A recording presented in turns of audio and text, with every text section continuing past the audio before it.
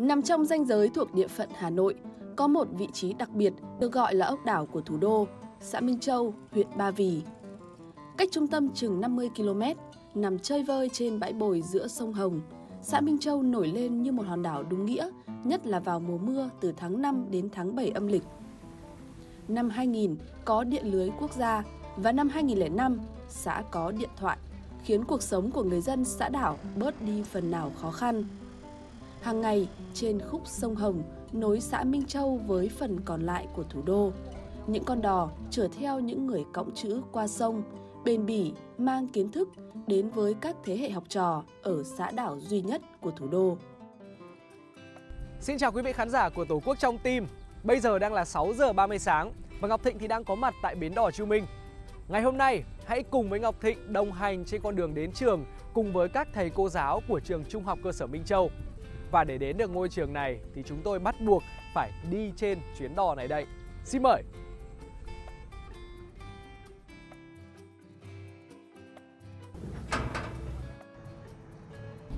Em chào cô Hiền. Chào Thịnh. Dạ, không gian ở đây đẹp quá cô ơi. Từ nãy đến giờ lúc mà đặt chân lên đò một cái là em cảm giác như lâu lắm rồi mới được tận hưởng cái không khí buổi sáng trong lành thế này ở thủ đô Hà Nội. Rồi mình à, đang chắc là quen với xe cộ đường phố chật hẹp đúng không? Bình thường thì em đi lại thì đường xá đi xe máy hay là ô tô thôi Chứ còn được tận hưởng cảm giác một buổi sáng đẹp trời như thế này ở trên một con sông rất đẹp Đi một chuyến đò là lần đầu tiên Thế em có cảm giác mình bị uh, say sóng hay là cảm giác uh, trong tranh gì không? Em đang phải rất bình tĩnh Ờ, rất bình tĩnh ạ. Đây đây đây, bắt Đấy. đầu hơi hơi say sóng rồi ạ. Để đi những chuyến đò như này thì hàng ngày các thầy cô phải dậy từ mấy giờ thế ạ? Bình thường là cô dậy từ uh, 5 giờ sáng lo những cái công việc cá nhân gia đình à, nấu cơm sáng cho chồng cho con ăn sau đó thì bản thân mình ăn sáng từ đó thì về đến tầm khoảng 6 giờ 20 thì mình từ nhà mình sang đây. Vâng. Mặc dù là có 11 cây số thôi nhưng mà mình phải đi từ quãng đấy để kịp những chuyến đò sang tiết học đầu tiên. Vâng, ở trường mình thì ờ, thầy cô nào là ở xa nhất ạ? Hiện tại thì là có một cô giáo ở ờ, Phúc Thọ. Vâng, Cô ấy mới đỗ công chức năm ngoái và cô ấy đi đến trường chắc tầm hơn 20 cây số. hơn 20 cây số. Hôm nay em thấy trời đẹp như thế này đi đò thì rất là dễ chịu, rất là thoải mái nhưng có những cái hôm mà thời tiết xấu không thuận lợi thì việc đi đò chắc là cũng gặp nhiều khó khăn và ảnh hưởng đúng không cô? Đúng rồi đấy. Có những hôm ví dụ như là trời mùa đông mưa mưa phùn hoặc là sương mù này Vâng, thì là khó khăn trong việc à, lái đò họ chở khách từ bên kia sang. Hoặc là ví dụ như những hôm mà trời mưa ấy, trời mưa trời bão họ lái đò từ bên này sang rất là khó. À đấy, nước bạn thấy không? Sóng rất to. Hoặc là những hôm chúng mình đi buổi sáng này thì nước rất đầy nhưng không hiểu sao buổi chiều về ấy thì cái nước của nó khá là cạn và Vâng. đôi khi là cạn quá là đò mắc cạn cứ lùi ra lùi vào có khi có những hôm đến 30 40 phút đò mới có thể lùi ra được bến. Thật sự là hôm nay bạn được trải nghiệm một buổi sáng mùa thu quá đẹp. vâng. Hy vọng là bạn Thịnh có dịp được về đây à, bốn mùa có thể trải nghiệm được cái mùa nước lên, mùa nước cạn rồi những ngày mùa đông giá rét rồi những ngày mùa hè nắng như đồ lửa đấy. Vâng, em cũng rất muốn được được trải nghiệm đầy đủ bốn mùa trên con sông này Rồi. để thấu hiểu được những khó khăn của các thầy cô mỗi ngày đi dạy. Đò cập bến rồi cô cho mình đến trường nhé. Dạ vâng, em mời cô. Cứ cách 15 đến 20 phút lại có một chuyến đò phục vụ cho nhu cầu di chuyển của bà con, đặc biệt là phục vụ cho các thầy cô giáo đi dạy. Học sinh cấp 1 và cấp 2 được học ngay trên địa bàn xã, với gần 80% số lượng các thầy cô giáo đều ở bờ bên kia sang. Không khí ở bên này trong lành quá cô ạ. Vâng. À, nói chung là ở đây thì à, ở một cái bãi giữa sông Hồng và sông Đường, à, dân thì cũng trồng rất là nhiều cây xanh. À, lâu lắm rồi em mới được tận hưởng một cái cảm giác sáng thứ hai đầu tuần mà không có khói bụi, không có kẹt xe ở thủ đô. Rồi. nói chung là ở quê nó cũng có cái thú vị riêng. Ờ, sau đây mình sẽ giới thiệu cho Thịnh à, thầy à, hiệu trưởng trường cấp 2 Minh Châu. dạ. À, vừa nhắc đến tên thầy thì thầy đã xuất hiện đây rồi. À thầy đây Chào rồi thầy ạ. Ừ, chào cô, Vâng, em chào thầy. chào em. Em là Ngọc Thịnh ạ. Vâng, em vừa mới được trải nghiệm cảm giác giống như ờ, các thầy cô ở trường mình là được đi đò từ bên kia sông buổi sáng sớm sang đến trường Minh Châu. À, thôi bây giờ à, Thịnh sẽ nói chuyện với thầy hiệu trưởng nhé. Mình có tiết mình xin phép được lên lớp. Dạ, em cảm ơn cô ạ. Vâng, thầy ơi, trường mình thì ờ, đã được thành lập từ bao giờ thế ạ? À, trường mình được à, thành lập từ năm à, 1962. Dạ, tính đến bây giờ thì cũng đã 60 năm rồi đúng không thầy? Rồi. Ờ, ở thời điểm đó thì cái sự cấp thiết để có một ngôi trường tại địa phương là như thế nào ạ? Trước à, khi à, có cái ngôi trường à, cấp 2 đấy ngày xưa các cụ gọi như vậy. Dạ. Thì rất là nhiều thế hệ cha ông của bọn tớ là người Minh Châu đã phải sang bên sông để học nhờ. Dạ. Có những à, bác thì học nhờ Cam Thượng, có những bác học nhờ Đông Quang và có những bác học nhờ cho ở Tây Đằng. Chính vì thế cái việc cấp thiết phải có một ngôi trường ở tại địa phương ờ, là rất là quan trọng. Ờ, Đảng ủy Ủy ban xã Minh Châu đã thành lập ngôi trường ờ, cấp 2 từ năm 1962 và giai đoạn đầu thành lập thì chưa chưa chưa có một cái vị trí như bây giờ ạ. Dạ. Thì à, lúc đấy là phải học nhờ ở các đình làng và trong những hộ dân. Đấy, một thời điểm sau này thì Ủy ban nhân dân cắm cho miếng đất này và ngôi trường được mọc lên. Và đến năm 1992 thì à, cái, ngôi trường được tách giữa tiểu học và trung học ừ, cơ sở. Dạ. Và đến năm 2016 thì à, nhà nước được sự quan tâm của nhà nước đã xây dựng cái ngôi trường với cái, những cái trang thiết bị như hiện nay. Vâng. Trải qua khoảng à, gần 60 năm cho đến thời điểm hiện tại thì à, trường à, Trung học cơ sở Minh Châu đã qua những cái giai đoạn như thế nào thầy có thể chia sẻ được không ạ? Cái những ngày đầu thành lập này sau khi đi học nhờ đấy và được à, xây dựng thì lúc đấy là cái ngôi trường nó rất là đơn sơ. Chỉ có một cái dãy nhà cấp 4. Hầu như năm nào trường cũng bị ngập. Dạ. Mình lớn lên đấy, mình đi học thì mình vẫn nhớ. Cứ hàng năm đến cái à, chuẩn bị khai giảng thì hầu như là học sinh cùng với các à, thầy cô giáo viên phải đi à, cào bồi nép bồi trong các lớp học. Và có những cái giai đoạn lớp nó ướt quá thì học sinh ê, đã phải mang cái do bếp Vâng. đi để giải xuống nền nhà để cho nó nhanh khô nhất có thể để để được ờ, lên lớp.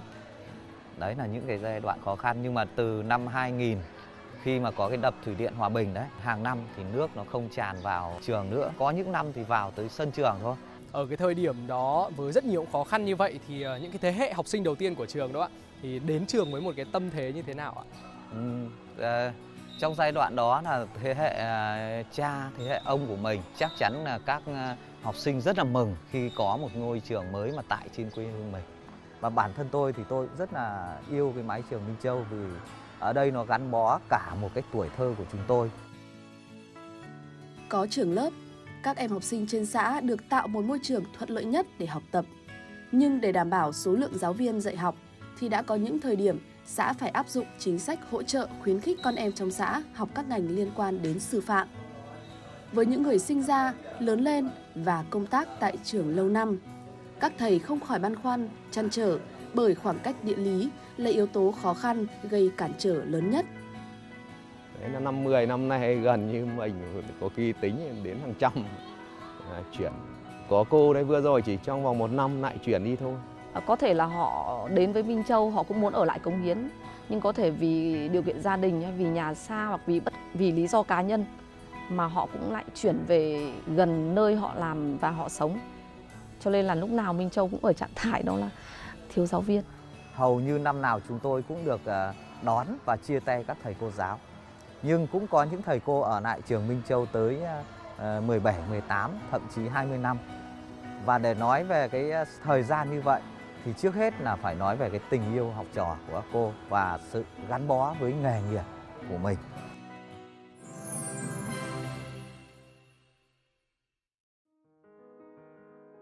Năm 1955, xã đảo Minh Châu chính thức ra đời. Là nơi hội tụ của nhiều dòng sông lớn, việc đi lại của người dân bao đời nay cứ đến mùa mưa lại gặp rất nhiều trở ngại.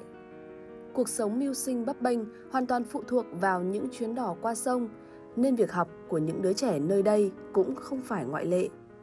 Bà Thành có bốn người con. Vào thời điểm kinh tế còn nhiều khó khăn, giao thông không thuận tiện, cùng lúc phải chu tất được việc ăn học cho cả bốn đứa con là điều không thể. Ngày xưa đây tôi cũng học có hết có nước bể thôi. Đây sự ờ, sống ngày xưa thì vất vả lắm. Chưa chăn nuôi được thì là vất vả. Thiếu không có mà ăn, không không có tiền để nuôi các cháu đi học. Có ừ, bến đò đấy thì Minh Châu nó khá hơn nhiều. Thuận tiện công việc buôn bán rồi thì chăn nuôi. cái tỷ lệ mà được đi học là rất thấp thấp khoảng 50% nhưng học cũng chưa được được đến nơi đến chốn bây giờ thì gần như là 98 đến 100% là con em là được đi học đầy đủ Khi đã có cuộc sống ổn định, có kế sinh nhai lâu dài, bền vững, nhà bà Thành hay anh Tuấn, cũng như hàng trăm hộ gia đình khác trong xã đã thật sự sang một trang mới. Hơn nửa thế kỷ kể từ ngày được khai sinh, cuộc sống trên Minh Châu giờ đã nhộn nhịp, chủ phú. Con trẻ thì có những ngôi trường khang trang để học tập, chạm tay được đến con chữ. Không thể không kể đến sự nỗ lực của những người cõng chữ qua sông. Các thầy cô giáo nó ở bên đo bên kia sang là vất vả lắm chứ. Trời mưa trời gió nó vất vả. Các thầy các cô giờ nói chung là dạy thì nó cũng có cái trình độ chuyên môn nó cũng cao hơn ngày ngày trước, Đấy, chính quy hơn.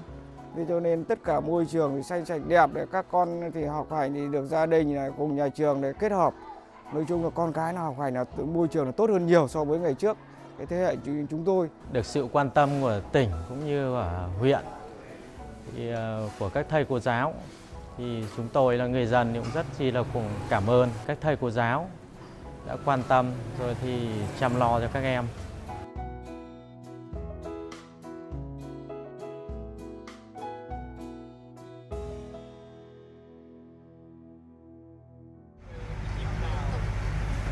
Là một trong những giáo viên có thâm niên, cô giáo Hoàng Thị Hiền đã có 15 năm gắn bó với ngôi trường cấp 2 Minh Châu.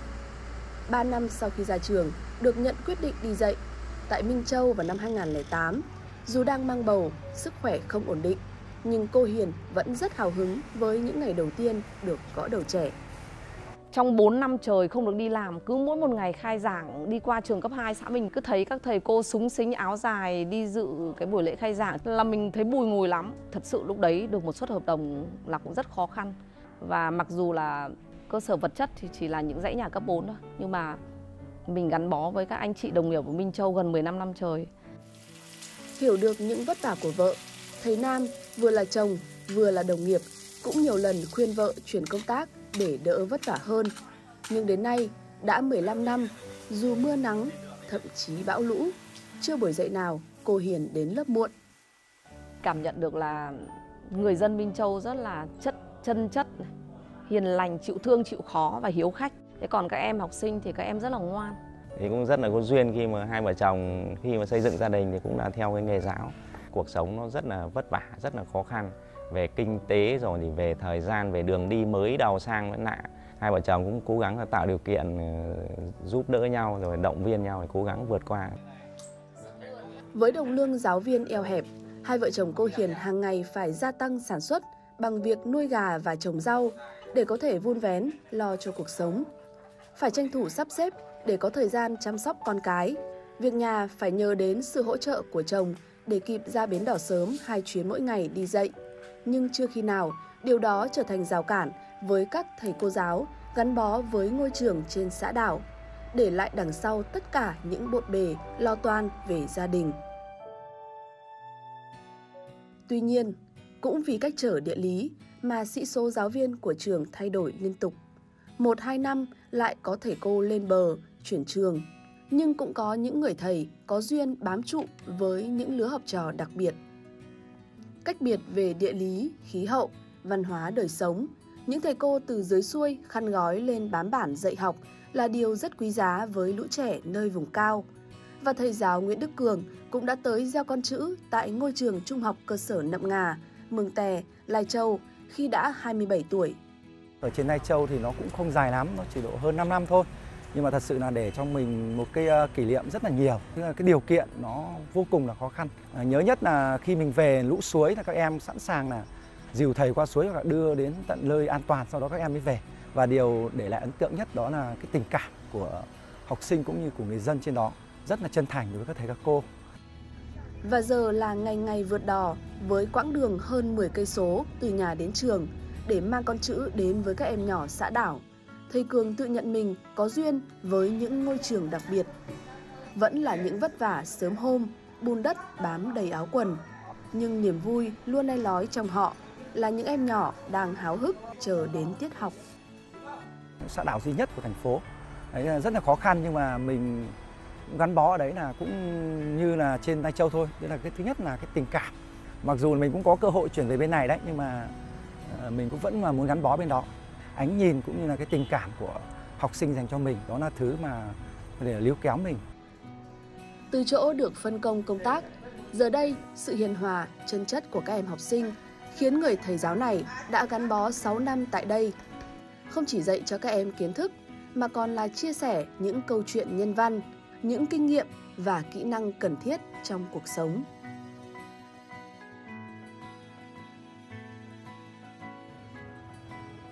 À, chào mừng tất cả các em đến dự tiết sinh hoạt của lớp 9C và hôm nay trong buổi sinh hoạt này thì cô sẽ giới thiệu với các em hai cựu học sinh của cô sẽ đến dự tiết sinh hoạt của chúng mình và sẽ chia sẻ cho các em những cái kinh nghiệm, những kỷ niệm à, rất là đẹp trong những năm tháng gắn bó trường cho cơ sở Bí Châu. Xin à, mời hai em ạ.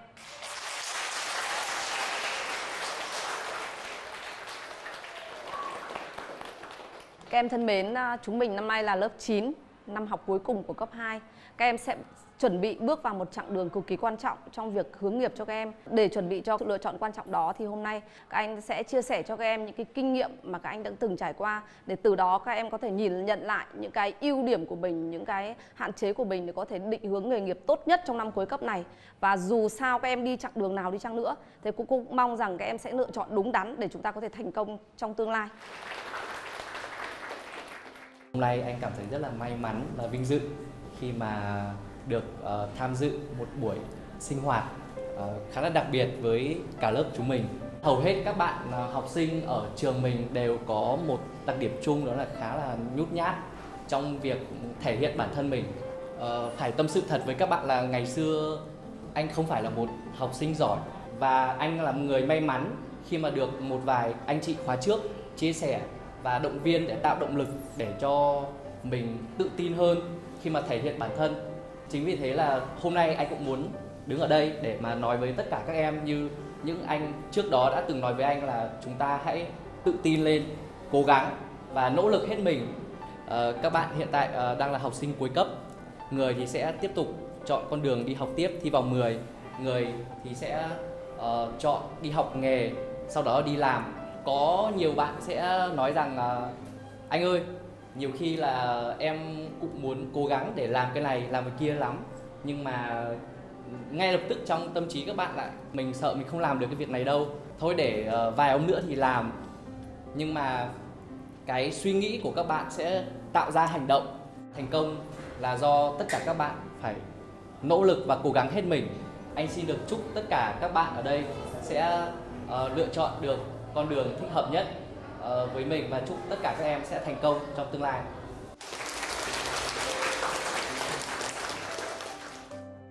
À, xin chào cô giáo, à, chào tất cả các em. Hôm nay thực sự là trong cái những ngày đầu thu khi mà được trở về mái trường xưa thì trong lòng của anh à, có rất nhiều cái cảm xúc bồi hồi xúc động. Lời đầu tiên cho phép à, em được gửi đến các thầy cô giáo đã đến với mảnh đất Minh Châu để trao truyền những cái kiến thức, kỹ năng, những kinh nghiệm sống đối với các bao thế hệ học sinh ở Minh Châu. Cảm ơn. Các em tự nhận mình là Gen Z và người khác gán cho mình cái từ Gen Z đó là rất là năng động, có khả năng, có kiến thức và sẽ là những cái thế hệ mà có cái giá trị sống trong tương lai hoàn cảnh thì quê hương mình thì các em biết rồi đấy thì cũng rất là khó khăn chủ yếu là làm nông nghiệp trong cái cuộc sống. Nó có nhiều khó khăn, trong học tập cũng thế, cũng có nhiều khó khăn phải cố gắng, nỗ lực có một nghề nghiệp sau đó để ổn định cái cuộc sống của bản thân, phụ giúp bố mẹ. Thế thì có một lần thì anh đi học ấy, thì gặp các bạn học sinh mồ côi của trường tiểu học Tây Đằng. Thì anh cũng băn khoăn, không biết mình có thể làm gì để giúp đỡ được các bạn đó. Từ đó thì anh cũng nỗ lực không ngừng nghỉ để à, học tập để sau này tốt nghiệp đi ra trường chọn được cái nghề mình thích đấy là nghề công tác xã hội phụ giúp những trẻ em có hoàn cảnh khó khăn những người già neo đơn. Và trong thế giới 4.0 người ta đang thay đổi rất nhiều. Một ngày các em không thay đổi có nghĩa là tụt hậu anh mong mỏi rằng kỳ thi lớp 9 sắp đến rồi. Các em hãy cố gắng hết sức. À, bên cạnh những kiến thức kỹ năng sống giá trị sống của mình bên cạnh kiến thức nghề nghiệp trong tương lai của các em thì các em phải cố gắng để tiếp cận được ngoại ngữ để trở thành một công dân toàn cầu đúng nghĩa Trung là một người rất là yêu quê hương mặc dù công tác ở dưới Hà Nội nhưng mà vẫn dành những buổi cuối tuần để ôn tiếng Anh cho các bạn ôn thi vào 10. Có thể nói nếu như không nghĩ đến quê hương mình, không nghĩ nơi mình đã sinh ra và lớn lên, không gắn bó với quê hương mình thì không bao giờ anh làm được những điều như thế. Xin cảm ơn cái tấm lòng, cái tình cảm của em Trung đối với học sinh Minh Châu nói riêng và đối với quê hương Minh Châu nói chung. Mong rằng các em sẽ có những bài học, có những kiến thức bổ ích để có thể lựa chọn cho mình một con đường đi đúng nhất để em có thể đạt được những cái ước mơ, những cái thành quả tốt đẹp nhất trong tương lai.